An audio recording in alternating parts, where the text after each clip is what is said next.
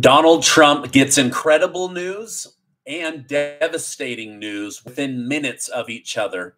I'm sure his emotions are all over the place as Democrats and the deep state seek to bring him down and keep him away from the White House. Representative Mike Turner is being asked to step down after using his authority to trick the American people on behalf of the Russia Ukraine war and so much more. I've got some really incredible insight for what's going on in the country today. So thank you so much for joining me this evening as I bring you guys the news.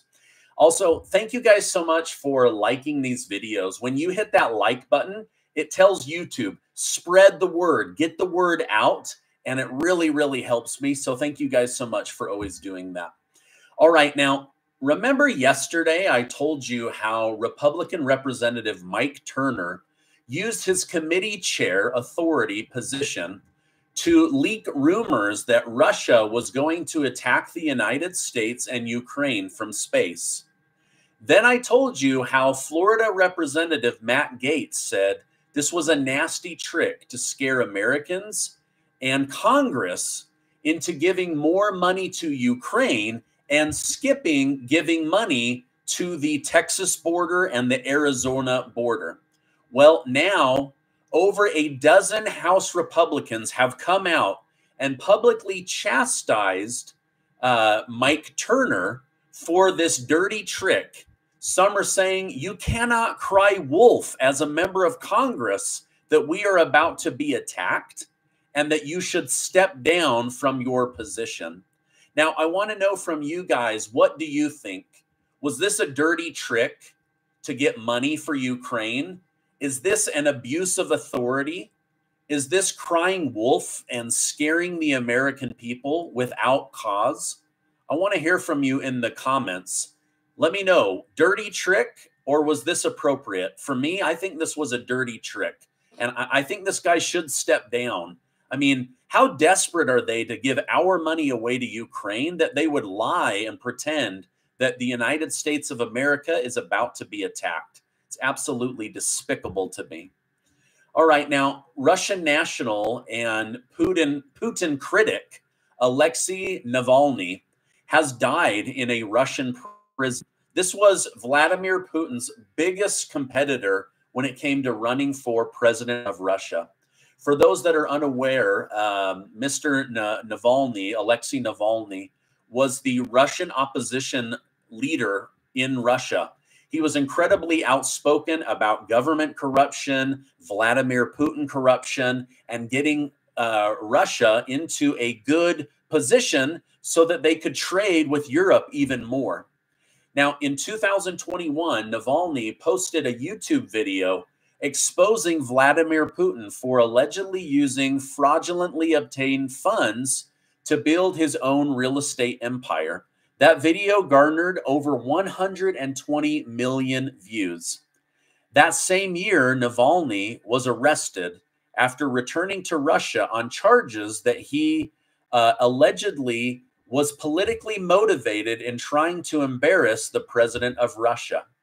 Now, unfortunately, the Russia prison service announced that he had died today after he randomly fainted, which was a shock to those around the world who respected his journalism.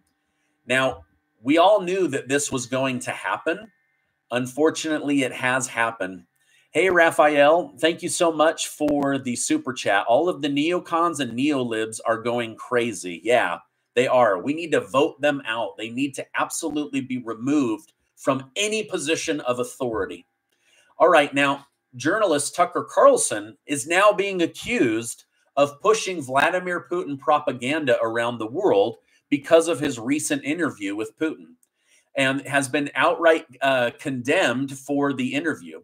But even even Tucker Carlson is saying Putin's treatment of journalist Alexei uh, Navalny is horrific. He said, It's horrifying what happened to Navalny. The whole thing is barbaric and awful. No decent person would defend it. So, because he had the courage to interview Vladimir Putin, they're now trying to label him as a propagandist, which means that the deep state is going to be going after Tucker Carlson. Just you watch. Hey, thanks, Jay Wilburn, for the super chat. I really appreciate it. By the way, you guys don't have to do those super chats. I'm happy to come on and, and give you the news, but I did want you to know that I that I see you. Um, but let me let me get through this news broadcast really quick. Now, President Joe Biden gave a speech following the news of Navalny's death, in which he honored Navalny for exposing the bad things of the Vladimir Putin regime. He stated, But make no mistake, Putin is responsible for Navalny's death. Putin is responsible. What has happened to Navalny is yet more proof of Putin's brutality. No one should be fooled. Now, this is really interesting, and let me know what you think in the comments. So, Joe Biden is literally saying that Putin locking up his political opposition makes Vladimir Putin an evil person. But we have proof that Joe Biden is working to get Donald Trump, his political opposition, jailed for over 700 years. So Joe Biden is literally saying that Joe Biden is evil for trying to lock up his political opposition. I don't know. Am I am I reading this wrong? Let me know in the comments down below.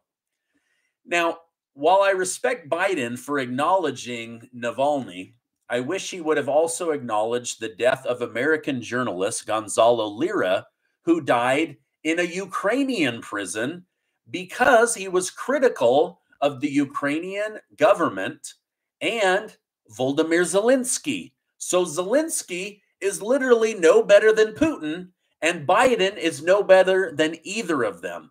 An American citizen journalist died in a Ukrainian prison because he dared to say things like, Ukraine is going to lose the war, or Ukraine can't beat Russia in war. Now, I'm not going to act like Gonzalo Lira was an angel. Uh, I, am just not going to. I'm just literally pointing out the hypocrisy of what Biden is saying and what he's doing and what Volodymyr Zelensky of Ukraine is doing. Now, in a recent update, uh, it has emerged that President Biden's uh, cognitive health is going downhill quickly. Special counsel Robert Hur chose not to indict Biden over classified documents due to his observed poor memory and his lapse of memory. After Hur's report, Biden criticized him for highlighting his failure to recall the timing of his own son's death, Beau Biden. Now, contrary to Biden's claim of being unfairly questioned about his son, NBC News reports it was actually Biden himself who mentioned his son's death during the interview with Robert Hur. Now, attempting to recall events at his Virginia home between 2016 and 2018, Joe Biden accurately remembered the date of Beau's death, May 30th, but was confused about which year it was. So not only did Biden forget the year, but he also forgot that he forgot and then tried to blame it on uh, Robert Hur in order to make himself look better. The reality is, Joe Biden has dementia and he is forgetting critical and vital parts of his own life his former position as a member of Congress and as a vice president. I mean, it wouldn't shock me if he's already forgotten that he's president of the United States someday. All right, now this is this is really terrible. The uh, Trump hating judge in New York City, New York Judge Arthur Engoron, has just announced that former President Donald Trump will have to pay a $355 million civil fraud uh, fine for allegedly inflating his net worth to get a better interest rate. Despite previous claims that Trump would also be banned from doing business in New York, uh, instead, he is going to just be told he can't do business there for several years. Now, Trump maintained his innocence and has stated crooked and corrupt judge Arthur Engoron ignored his loss at the appellate division and came out with an outrageous $355 million fine against me using a statute that has never been applied like this before. Now, by early next week, we already know that Trump's uh, lawyers plan to appeal this. This is a political hit job, especially after hearing that no banks lost money, every loan was paid back, everybody made lots of money off the business deal, and not a single bank complained about this. It was only Letitia James, the Attorney General of New York, who ran on a platform of getting Trump that needed to keep her political promises. And it looks like she has. Now, here's what I think is really going on Letitia James is trying to bring Trump to his knees so that he can't run against her favorite president, Joseph Robinette Biden. The amount Trump is being charged is ironically and luckily almost the exact amount of cash that Donald Trump has on hand. Even in the appeals court, you have to put up 10% of the money until you win, which means that Trump risks losing $35.5 million in order to try to reverse this in an appeals court. But what else is he going to do? $355 million? It's absolute insanity. Now, Judge Engoron went on record saying that Donald Trump isn't as bad as Bernie Madoff. He's not really a bad guy, but his lack of contrition means that he is borderline pathological. These were the exact words of Judge Engoron. But why would Donald Trump feel bad about a crime he didn't commit? I mean, if I was accused of something and I didn't commit that crime, I wouldn't have any contrition. I wouldn't feel bad. And it wouldn't make me pathological to not feel bad about something I didn't do. Now, I think this judge hates Donald Trump. And I think this because he's been very vocal about hating Donald Trump. His wife has been very vocal about hating Donald Trump. Letitia James has been very vocal about hating Donald Trump. Now, Trump sadly may have to liquidate multiple prized golf courses in order to pay the fine. So he, he's going to have to put up the $35.5 million and seek an, uh, an appellate court to try to reverse this crazy and definitely biased judgment against him. Now, while Trump's trial in New York didn't go his way, his trial in Georgia has absolutely gone crazy. It's been flipped on his head after District Attorney Fani Willis was accused of having a conflict of interest in prosecution by having a sexual affair with her co um, her, her co prosecutor. With that being said, people are now calling her a hypocrite for comments she made in 2020 while trying to get elected. When asked why she was qualified for the position, Willis stated, because they deserve a district attorney that won't have sex with his employees, because they deserve a district attorney that won't put money in their own pocket when it should go to benefit children, because we deserve better. These are her exact words. Now, it goes without saying, but it is very ironic that she is now accused of the very things that she said she was not in order to get this job. All right, now, uh, President Biden finally visited East Palestine, Ohio, where that train derailed a year ago, and then the government blew it up and spilled toxic forever chemicals into the air and also into their drinking water. He was greeted with F you and get the F out of here at every single location he visited. The people literally chanted for him to leave and to never come back. But I don't think the people remember why Joe Biden couldn't be there in the first place. He had to take a vacation. I mean, these people are so rude saying F you just because he didn't show up or give them any kind of help or assistance because he was on vacation. I mean, come on, give the guy a break. He had to take a vacation. I mean, at least the people in Hawaii were understanding that he had to take a vacation uh, before visiting them. I mean, you guys can literally look this up. The government completely screwed over our brothers and sisters in Hawaii. And why? because Joe Biden had to take not one, but two vacations before making it over to Hawaii. You can fact check me. That's absolutely true. He literally gave these people the middle finger and then went on vacation. And now he's shown up a year later and they're literally like, dude, get out. Never come to Ohio again. But it's not like he needs Ohio in order to win the presidency. Oh, wait, you do. All right. Now, uh, by the way, let me know in the comments is Biden the best president or the worst? I want to hear from you guys. I, I, I'm I'm literally in the middle of doing this show, or else I would come on to write that I believe he's the worst president. But I, I want to hear from you guys. Best or worst? Raptor Life says he will go down in history as the worst president, I swear. Thank you for the super chat, and I completely agree with you. By the way, uh, let, let, me go. Let me go back. There's uh, a point that I missed with District Attorney Fani Willis, and y'all, you guys, this is terrible. I mean, really, really terrible.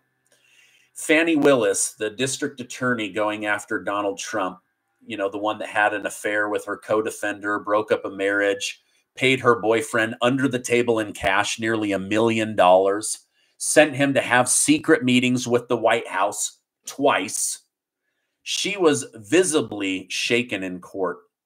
And then people realized that, you guys, this is terrible. She was literally wearing her dress backwards. I, am not making this up. You, you guys can go search this. She's she's so stressed uh, that she put her dress on backwards. Now, why is she stressed? She's stressed because of her lies and her cover up and her lies about her cover up. I mean, this is literally the person trying to ruin Donald Trump's life. And now that she's on the other side of the persecution and the prosecution, she's literally such a shaky mess that she she put her clothes on backwards, you guys. It's just sad. Like I don't wish this on her, but she did bring this on herself. I mean, I don't know. Maybe I'm wrong. Let let me know. Uh, did she bring this on herself? I, I, I think she did. All right. Someone says, stop speaking such rubbish, Stephen Gardner. What rubbish? This is all true. You can literally Google this stuff in the news.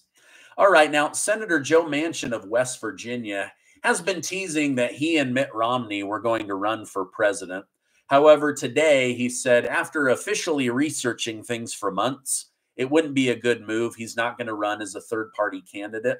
Um, I think what he realized is that he was going to lose and waste a lot of other people's money.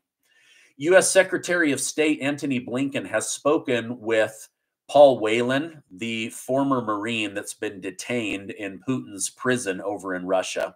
Whelan was arrested back in 2018 on allegations of spying on Russia, which is a long time to be behind bars for an American citizen. Despite the seemingly lazy effort to get Paul Whelan home, Blinken stated, Our intensive effort to bring Paul home continues every single day, and they will until he and Evan Gershkovich and every other American wrongfully detained is back in America with their loved ones. Well, I hope you guys are telling the truth and you really are trying to get these American citizens home. All right, now let me say hi to you guys. Uh, William McDaniel says, This is not rubbish. Yes, exactly. Thank you. You can look this stuff up. Just Google Fani Willis dress on backwards. Just Google Joe Biden goes to East Palestine, Ohio.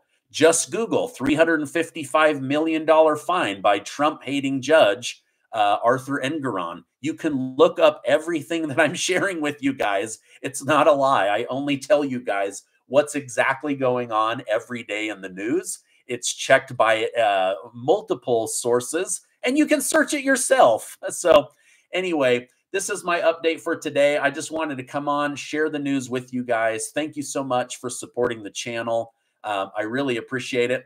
Uh, if you would give this video a like, that tells YouTube to share it, uh, and that would really, really help me out. Also, I'm going to put uh, a video from earlier with Colonel Douglas Macgregor that I definitely think you guys should check out.